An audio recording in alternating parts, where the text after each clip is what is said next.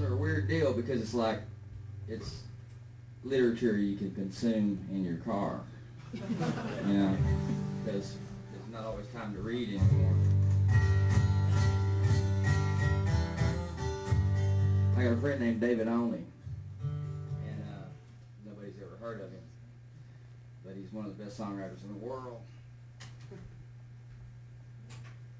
And uh, just found out I'm doing a, I'm, I'm doing a few folk festivals this year, and he's on one that I'm on, which is gonna be a lot of fun. This is a song of his, and uh, it's like a one of the most perfect songs I've ever heard. I mean, I first heard this song in a hotel room in the middle of the night in Nashville when I was 19 years old. I've been playing it ever since. It's like, it's like uh, it took me. I've been singing this song for four or five years before I realized that I'd run across a song that was so perfectly constructed that it it doesn't have a rhyme in it anywhere, and it, I never realized it. So this is a David Olney song.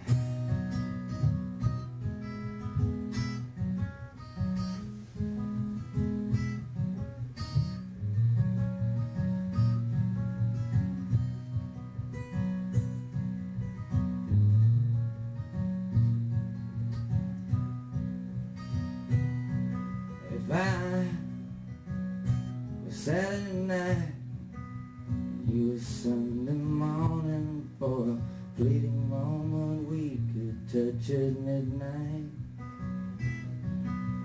In that moment, could you really know me? But I'm standing on the mountain, longing to be near. The valley is too wide, can I reach you. As close as I can ever hope to be.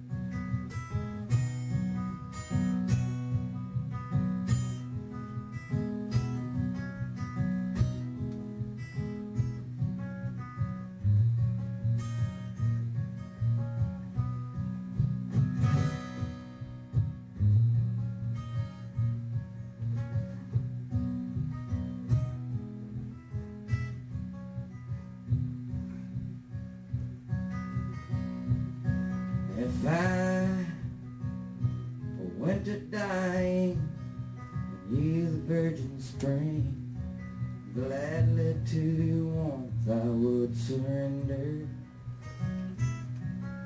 To melt the snow and set the rivers free. I'm standing at the river, longing to be near. The water is too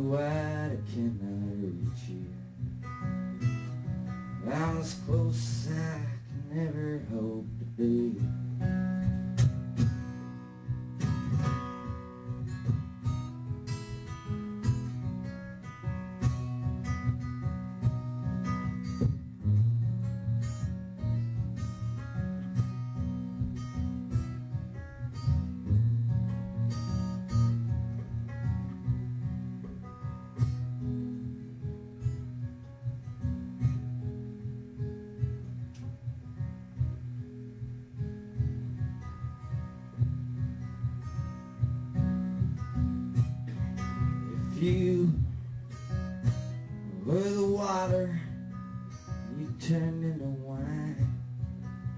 You could satisfy drunkard's thirst.